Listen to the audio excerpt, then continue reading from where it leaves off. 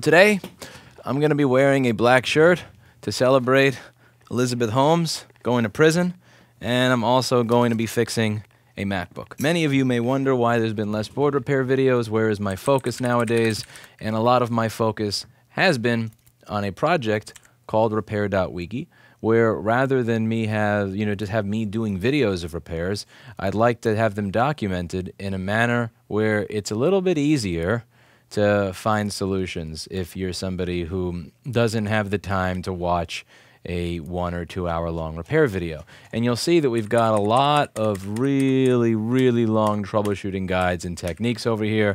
And this stuff is also incredibly, incredibly well detailed. A lot of what you see here came from TCRS Circuit, who you can find on YouTube over, here we go, over here. This is uh, TCRS Circuit's YouTube channel. Also, we've had contributions from legends like Jesse Cruz at VCC Board Repairs, and I am happy humbled and honored to continue finding people who are open to contributing to this because I think that this is going to help people a lot more than my videos. And admittedly, I'm going to be honest with you, I've done over 600 board repair videos at this point. I'm kind of tired of doing the same thing over and over again. Can I be real with you? I have over 600 videos in the exact same format. Yes, count them. Over 600. And that's not including live streams. There's about 100 or 200 live streams that I never managed to make into a video that are about three to five hours long that are unlisted that I just didn't really have great content in them. So overall, there's probably about 800 total board repair videos. I just don't want to keep doing the same thing over and over again. So I'm focusing on and I genuinely appreciate those who have uh, seen and kind of understood my vision and wanting to wanted to contribute to it. Thank you very much for choosing to do so. So we are going to get started on this board repair today. It looks like here we have an A1466 in front of us. Let's see if we get the Paul Daniels software to work today. Okay, do we got the Paul Daniels software working today? Let's see. Do we have the okay? We got 50% of the Paul Daniels software working today. I'll settle for 50%, and the rest is going to be the power supply. And there we go. We got 100% of the Paul Daniels software working today. All right. So I'm getting I'm getting greedy, baby. I'm getting greedy. So let's take this board out of the case. As you can see, whoever was working on this is an evil, evil, evil person and decided to not take the DC in board out of the case in spite of the fact that the board is taken out of the case, making it a pain in the ass to test where you have to kind of like balance it and wiggle. God, ah, this is, it's so awful. It's so awful. I swear, the people that do that should get eaten by alligators. So what we're going to do over here is just put this over here, make it get the DC in board out of the case like a civilized human being would do and this should make it easier for us to do our troubleshooting. I'm also going to unscrew the SSD because I don't want the SSD, if I'm going to be doing any hot air rework or anything like that, to be getting heat while I'm working. Again, this is unavoidable when you're working on newer MacBooks because the SSD is soldered into the freaking board, but on the old ones, I would always take these precautions when I'm able to. So we're going to move this aside. We're just going to put this into my little shelf over here plug this in. You guys excited? Hope you guys are excited. I'm excited. I'm excited. If I'm excited, you should be excited. That's how this works. And we're gonna one, two, three. Eh. This DC in board also has some schmutz on it. Ugh. Okay, come on. There we go. There we go. Okay, what happens? What happens? Do we get? We have a fan spin. This already works. Okay, let's look over this into the microscope, and what do we get? By the way, everybody, uh, our friend Paul Daniels is in the chat. Say hi. He's responsible for the multimeter, power supply software, and board view software that I use. And he is a good man. Even if he killed Chlordite, he's a good man. He did good things for society. Okay, so it looks like there was corrosion over here at one point, so it is believable that this wasn't turning on before, or perhaps having intermittent issues for the customer, so. This is why it's important to still look. We'll take a note of what that was.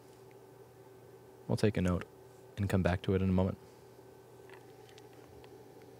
So this did have liquid damage. There is a credible reason for this laptop being here. And it is dusty. That'll get cleaned off in the ultrasonic, no problem. All right, just give it a quick little look-see around here. And all right. Well, okay, let's figure out what this thing does over there. Now, in order to do that, I'm going to have to open a piece of software called Flex Board View. So that's going to be interesting. So I am going to go to my schematics folder, and I'm going to find the 820-3437 board view and schematic, and I'm going to open this file with a program called Flex Board View. Um, one thing that I'm happy about is that I'm not using Unity Desktop today. I'm actually using proper software. I'm using XFCE, which allows me to choose what program I use to open a file, and it actually allows me to set a path, not just use installed applications, which will allow me to set the file associations that I need. And beautiful, it just worked. I love XFCE. XFCE is such a beautiful desktop interface. I love this desktop interface. I love the people who program for this desktop interface. I just, I, I love the philosophy behind it. It's a beautiful stuff. It really is.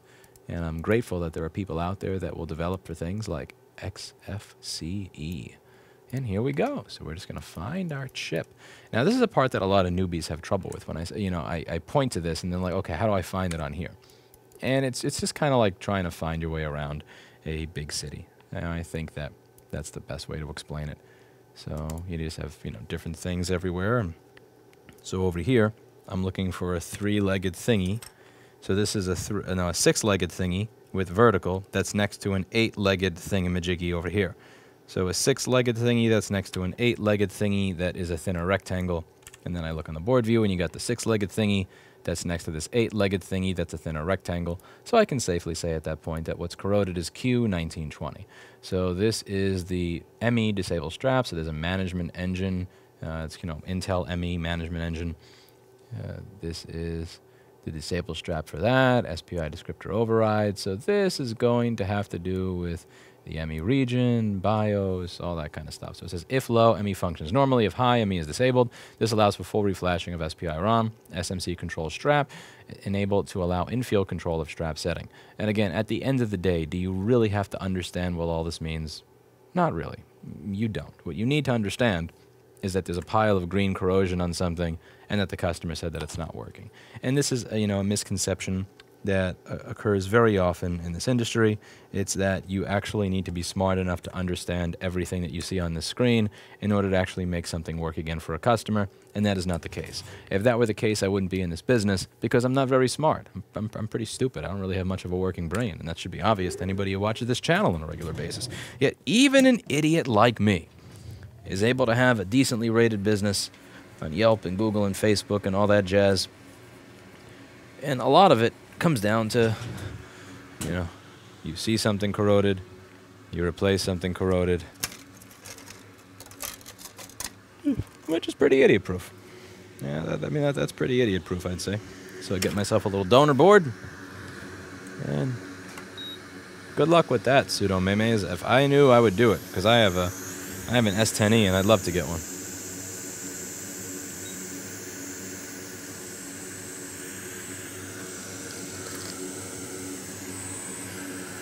Okay, so again, all now all this dust, it actually winds up trapping in little bits of corrosion and stuff like that. And it, all of that dust is going to go away in the ultrasonic cleaner. Will make the ultrasonic cleaner water dirty, but you know, that's why you get more water. Also note that we have a probe point over here that's on its last legs. That's most definitely going to have to be investigated as well. I'll turn up the light so that you could see that. And yeah, you could see that I can't just put another chip on here because of what this looks like. That's not going to go very well. So now, as I've said, you cannot solder on top of corrosion, nor should you solder on top of corrosion. So what I'd like to do here is I'd like to add a little bit of flux. And then, what I'd like to do is I'm gonna scrape. And you and honestly, it's probably bad to scrape at the iron. I'm not saying that it's a bad tactic, like you're gonna break the board, or I'm saying it's bad because you're gonna wind up going through these $50 tips much faster if you do this. Uh, so I'm really, really, really gently scraping, and as you can see, that probe point came off. which means that it's, it's, again, it's a good thing that that happened because if that didn't come off now, it most certainly would have died later after I give the device back to the customer, and then it would have been intermittently turning on and turning off because it intermittently would have been conducting electricity. So I am happy when things like this happen. I am happy that if the pad comes oh, off now, oh my god, that was loud, holy crap. Stock XFCE needs Windows Snap, super key plus direction key. I have no idea what a super key is. I have no idea what a super key is. Thank you for the $1 anonymous though. Yeah, I don't know what a super key is. I have a Windows key, I have a control key, I have an alt key, I have a bunch of letters and numbers, and every now and then I'll use some punctuation. I don't know what a super key is. Yeah, I just deafened you all. I just deafened everybody, didn't I? Oh well. So, I had it turned up from before. okay, now, as you can see, I've restored this over here so that this, again, I did not put the solder on top of corrosion. I scraped to get rid of it, and with the flux that I added, the flux that's in the solder and the solder blob, all that corroded crap kind of got sucked up onto my iron, and then I scraped the solder off of my iron so it was no longer there, and then I soldered on top. Now the same is true here. Again, do we have something we can solder to here or not? I don't know yet. I am going to scrape. Again, I am not going to try to solder on top of corrosion. I'm just going to provide some very gentle scraping. Some very gentle scraping to see if we still have a pathway here. That's what I'm looking for. Again, do we have a pathway here? Do we have a pathway here? Survey says kind of, sort of, maybe. Let's see if I can get that a little bit more in view for you. We're just going to adjust the exposure and the white balance here. I might turn down HDR because it's going to make things a little too bright. And this is a really, really basic repair. There's nothing crazy difficult here. This is a easy breezy, easy breezy. So you see that there's some spots in there that's kind of spotty. I want to see what it looks like under all that. So I'm just going to grab my desoldering wick, and I want to see what's under that. Now, the other nice thing about wick is that wick is pretty decent at actually scraping away corrosion, because wick is, you know, this kind of harsh, abrasive wire. So it'll allow me to see if there's actual corrosion hiding under there. And as you can see, it really looks like I don't have any corrosion there anymore. So I that, that corrosion would have eventually eaten away at this. And what I'm actually going to do over here is I'm going to run a wire from here to here just in case that's been weakened. Just in case that's been weakened so that I know this is never going to come back for the same issue. Again, this may come back because they break something else, but it's not going to come back because, uh, because this was not addressed properly the first time. So let's make sure that this is nicely soldered in there. Each pad. All right. Yoink. Yoink this. Thank you, Mansatagima. The name.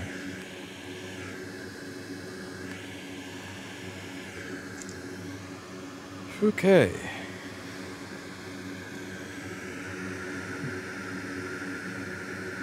Let's reinforce it. There's no pain or reinforcing it a little bit. Not much cost here.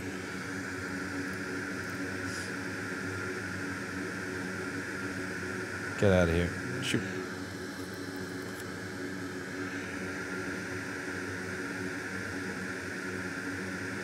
Huh. Now I'm going to tin the wire, scrape away the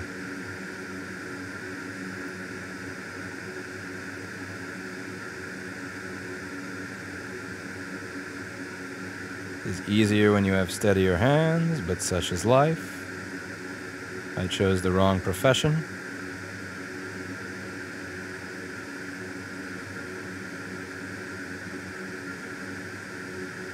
You don't want to make it too long, because if you make it too long, it winds up being an antenna. You don't want to... Uh, so, there we go. Now, one thing you'll notice is that if you believe that that wire is not in the proper place, it's actually going to flow into place perfectly due to a concept called surface tension. It's going to flow naturally into the perfect part for it to be in, in relation to the, to the solder pile there. What do you enjoy more, repairing boards or running a board repair business? I would say the business part of it. I mean, you can't really you can't really cut one out from the other. It's impossible to cut one out from the other, but I would say I enjoy the business part of it. You know, and run just fixing a board in and of itself eventually will get old. Being able to see the customer interaction on the front end, being able to see you know what it's like when they bring it in, what it's like when they get it back, um, you know, building it and all that. I think like it was the entirety of the experience that made it interesting for me. And what? Oh, oh no, oh no, the chip flew away. How dare you? Get back here. Okay, where'd you go, you little mother? Where'd you go? You're over here, aren't you? Okay, now I gotta figure out which way it goes. Which way is up, as Barry White would say. Do I have a dot? Okay, I got a dot, and it's the upper right corner. That's up. Which Way is Up is one of my favorite Barry White songs. That and Get Up. Which Way is Up and Get Up. You better get up. You better get up. You better get up. Get up off your ass. All right. Now that wire has flown to place, flown exactly where it should be. Beautiful.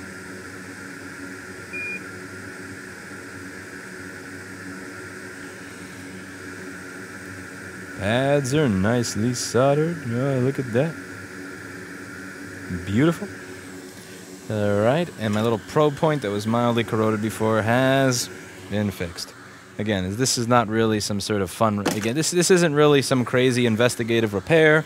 We're going over and finding out this crazy problem. This was a really, really basic one, and it was honestly kind of boring because, as I said, this thing was already turning on. The ticket said it wasn't turning on. It's understandable why it wasn't turning on because it had that corrosion over there. But, you know, not everything is going to be crazy, crazy investigative.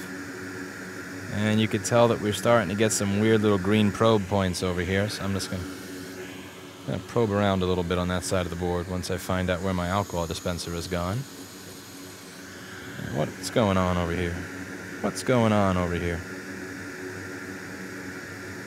Is that corrosion or something else altogether?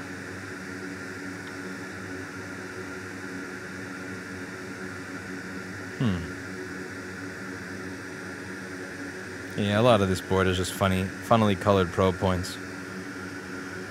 And you got a little crumb over there. Yeah, lots of strangely colored probe points over here. I'm very curious the climate that this customer lives in.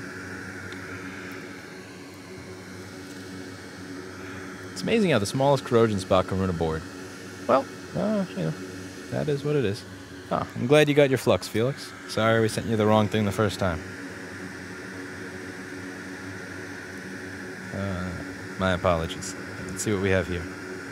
This, Yeah, I'm, I'm pretty satisfied that we've gotten rid of all the corrosion on this.